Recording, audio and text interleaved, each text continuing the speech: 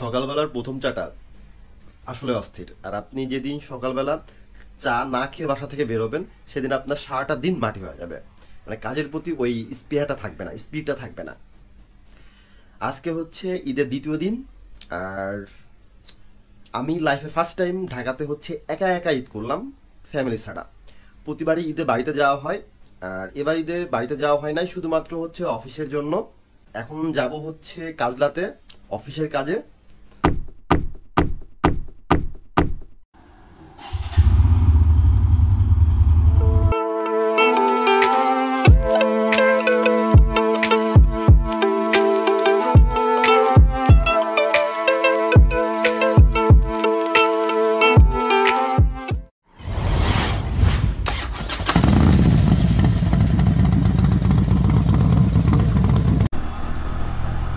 এখন সময় দশটা পঞ্চান্ন, আর আমি আছি বিজয় সরণি সিগনালে। লাইফে ফার্স্ট টাইম মনে হয় যে এই বেলা এগারোটার সময় বিজয় সরণি সিগনাল কোনো প্রকার সিগনাল ছাড়া একেবারে, একবারে পার হয়ে যাব। আশা করতে পারি সেই আশা নিয়ে বাসা থেকে বেরোইছিলাম। গতকালকেও বেরোইছিলাম এই একই আশা নিয়ে বাট এখানে পাঁচ মিনিটের মতো জ্যামে ছিলাম। গতকালকে সন্ধ্যায়। তো যাক, কপাল বলো লাইফে first time Bijoy Sarani signal একবারে পার হচ্ছি। আহ, কি শান্তি কি শান্তি, বিজয়। ঢাকা সিটিটা যদি সারা জীবন এরকমই থাকতো, ভাই, কি যে শান্তি হইতো আমাদের। মিরপুর কাজীপাড়া থেকে মাত্র তিন মিনিটে আমি সাত রাস্তা চলে আসছি।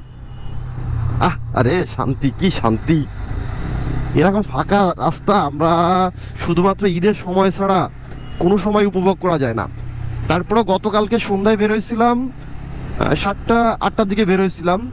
তাও মোটামুটি ভালোই রাশ ছিল রাস্তাতে। আর এখন একেবারে ফাঁকা।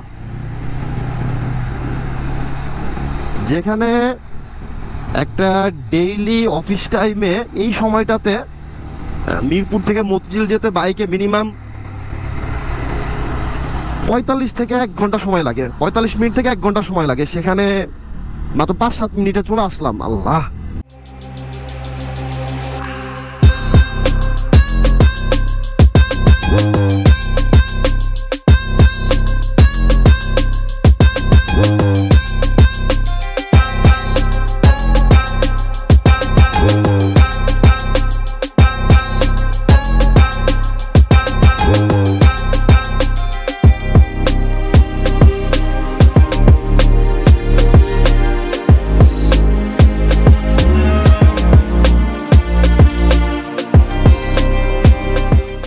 সকালবেলা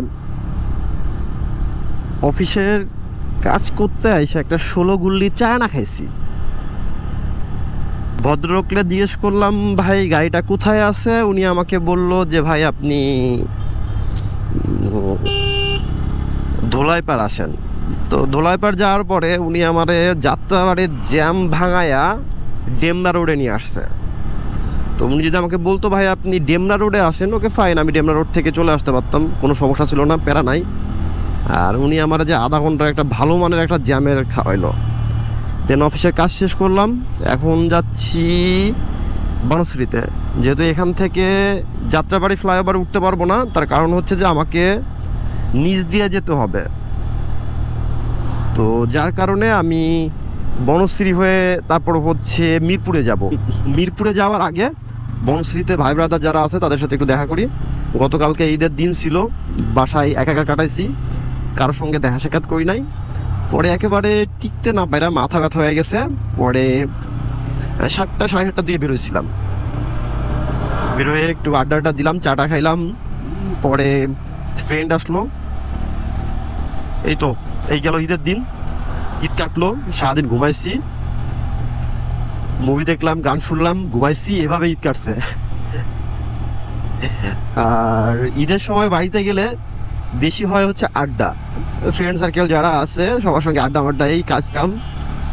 মানে খুব মানে ঈদটা কাটলো হচ্ছে এতিম এতিম ভাবে, একেবারে এতিম, কেউ নাই ঢাকা শহরে। অলরেডি হচ্ছে ঢাকা সিটি ফাঁকা, সবাই চলে গেছে। আর যারা আছে, তারপর সবাই ব্যস্ত। কোনাপাড়া শপিং কমপ্লেক্স এটা তো কোনাপাড়া, কিন্তু আমি তো এখান থেকে যাব না, আমি তো ভালো চিনতেছি না। মানিক দি এটাও না, এই রাস্তা দিয়ে তো যাওয়া যায়, কিন্তু এই রাস্তা দিয়ে গেলে এটা যা উঠবে সম্ভবত হচ্ছে খিলগার দিকে ওই সাইডে উঠবে। তা আমি যাব হচ্ছে বনশ্রীতে সো আমি স্টাফ কোয়ার্টার হয়ে যাব।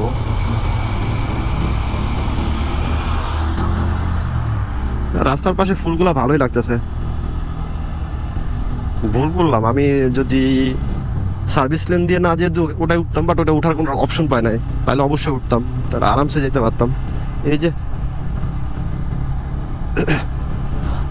আগে যাই বনশ্রীতে।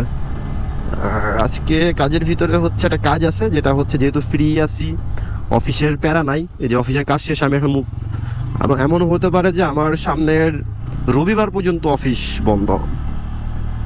তো মানে রবিবার পর্যন্ত বলতে শনিবার পর্যন্ত অফিস বন্ধ, রবিবার অফিস খুলবে অফিস করতে হবে।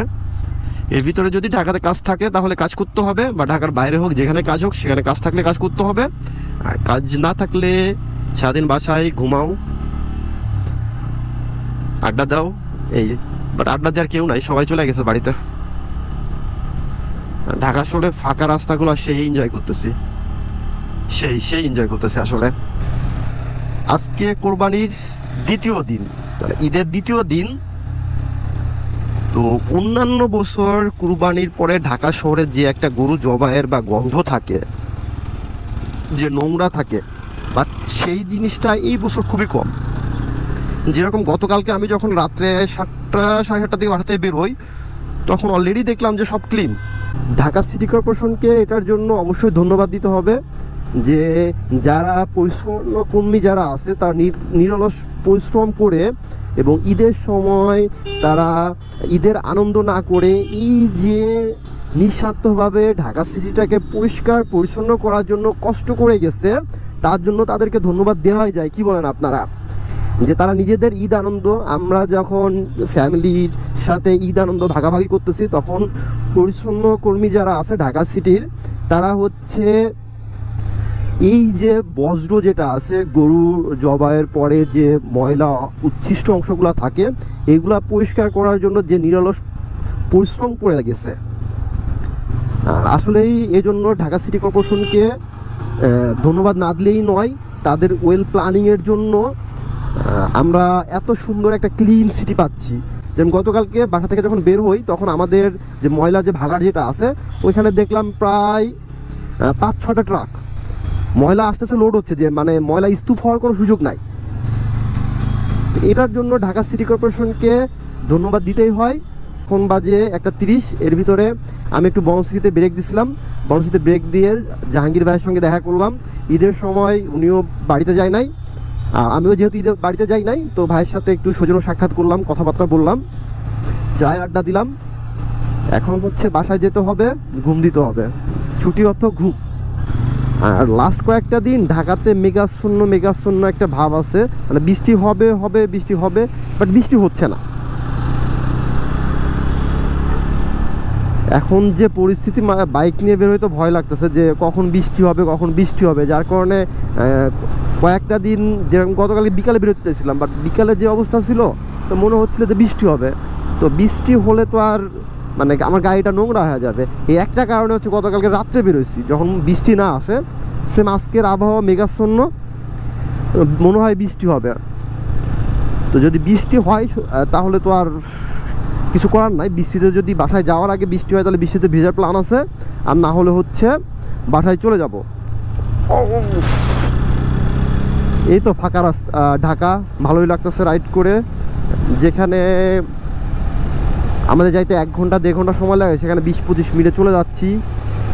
আর ওই গিজগিজি জ্যাম নাই, তারপরে হচ্ছে ট্রাফিক নাই, উফ, শান্তি আর শান্তি। এই ঢাকাটা হলে তো মনে হয় কেউ ঢাকা সিটি ছাড়তো না। ভিডিওটা দেখার জন্য অসংখ্য ধন্যবাদ। সবাই ভালো থাকবেন, সুস্থ থাকবেন, আর অবশ্যই সবসময় রাইডিংয়ে ফুল ফেস হেলমেট পরবেন।